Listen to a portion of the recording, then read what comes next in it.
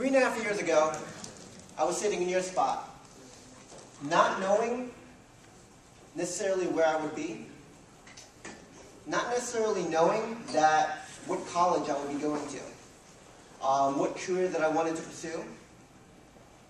I was uncertain, and in many ways, I was kind of fearful. I was a little bit scared. And I'm here to tell you that that's all right. I'm here to tell you that, to be honest with you, it's okay to be uncertain. It's okay to be a little bit fearful. It's okay not to know necessarily what college or what career that you want to pursue. I'm going to open up this quote by saying, stating a quote. Mary Oliver once said, What are you doing with that crazy, precious life of yours? And that is a question that I ask you. What are you doing with that crazy, precious life of yours? What do you plan to do with that life of yours? And finally, where do you want to be and how many steps do you need to take to get there? In today's keynote, I have three objectives. The first one is to show you that, to be honest with you, it is not about where you start, it is about where you want to be.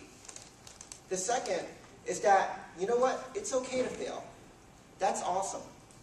Because you learn a lot from it, and that you are going to succeed. And I see some people in the audience looking at me and saying I'm crazy for saying that. But it's true. And finally, that you just have to go and do it. That once you know what career, what dream that you want to pursue, go out and just go do it.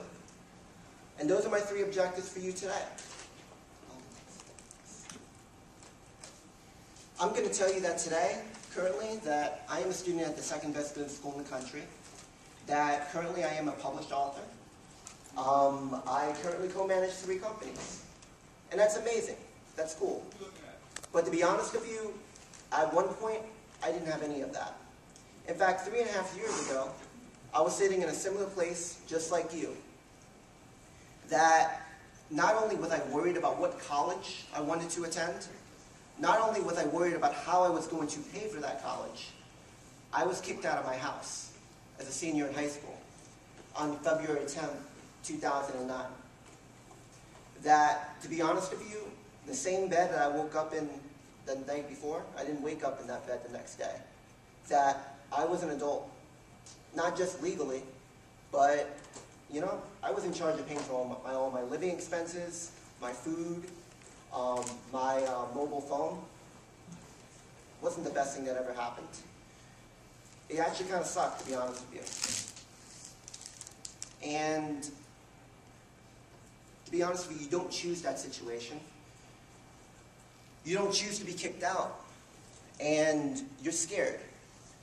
You're uncertain about where you're going to be because not only do you have to worry about the same issues that of where you're going to go to school and how you're going to pay for it. But you're now sustaining your own living situation where you're now an adult that, you know what, if you don't choose to go to school and no one wakes you up in the morning, well, you're not getting your diploma if you keep on not going to school. That if you choose to hang out with your friends and go out the next day and you have to work that day and you don't want to go to work, well, you may not have a job and you may not be living in that same house being able to pay your rent, being able to pay for your bills. And that is a situation, unfortunately, that I had to go through. I can tell you that I was uncertain not because of only what college that I wanted to go to. I was uncertain because, to be honest with you, I couldn't see where I wanted to be in six months. That I didn't have a way to pay for college. That even though I got into George Mason University, I ended up going to Nova because it was a financial alternative. I can tell you that I was also angry. You don't wake up and say, this is the most amazing thing that happened to me. I just got kicked out of my house. No, you're angry, you're scared, and you're sad. And what I'm here to tell you that it is not about where you start. It is about where you want to be. That even though, yeah, I was kicked out of my house, that I chose that I wanted to be do something else. That instead of dwelling about the past, I wanted to define where I wanted to be.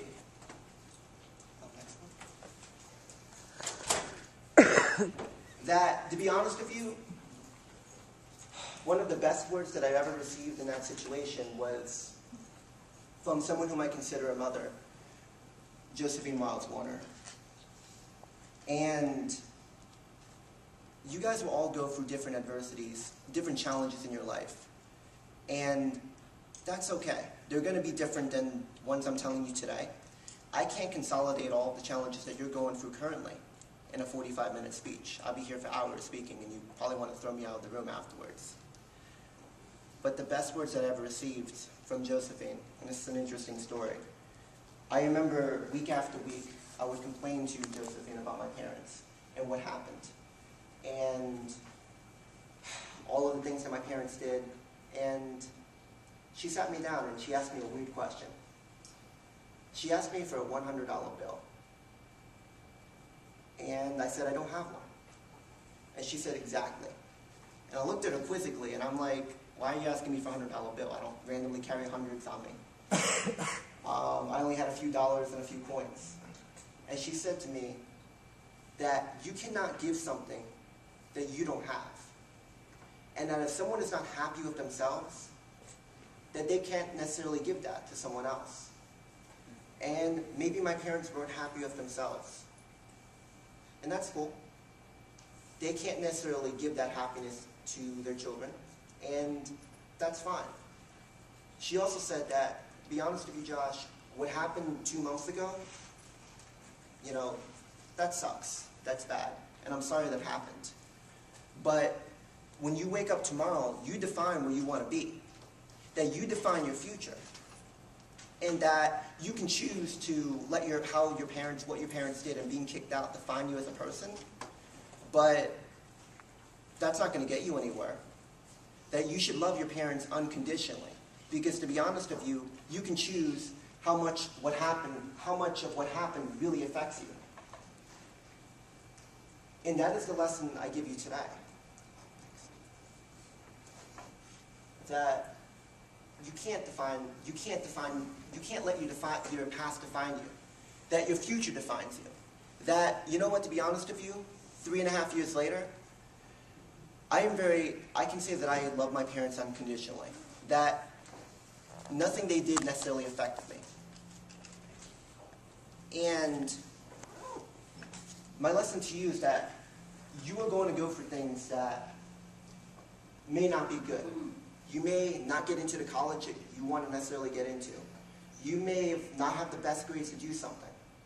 You may not be able to get, you may not get that job. There's plenty of times in my career that I've applied to a lot of restaurant jobs, and I've been rejected flat out. I learned a few wise lessons. For example, probably don't dress up in um, holy jeans when you go into an interview. Um, I've done that before. I'm here to tell you that you cannot let what happens, your failures, define you that you have to keep pushing forward. That my challenge is unique to myself. And maybe some of you guys are going through similar things. Maybe some of you guys are going through challenges for your parents. And that's cool. I'm here to tell you that don't let that define you. That every day is the first day of the rest of your life. And that you can choose what you do tomorrow. And that nothing that happens yesterday can affect you as long as you don't let it affect you. That I wake up tomorrow and I don't say that, you know, my parents kicked me out. I say, you know what? I want to achieve my dreams. I need to go to school. I need to go to college. I need to get my education. And I will one day get a job. That I think forward and not through the past. And that is the first story that I tell you. That every one of you guys in this room have the ability to be anything you want to be, from attorneys to doctors to politicians to biologists, researchers. That when you start and you enter this room, you entered as one person. I don't expect you within the next 45 minutes to come out and know what your dreams are, know what career you want to pursue, know where you want to be. But I expect when you come out of here that you look forward. That I, don't, I want you to leave your past in this room. And I want you to embrace it as who you are and come out of this room knowing that you just have to go and do something and pursue whatever you want to do. and I can't define what you want to do, that's in you. Again, I could spend hours talking about that because uh, we all have different dreams and different ambitions in our life. I'm here to tell you that you have to move forward and don't let your past define you on that.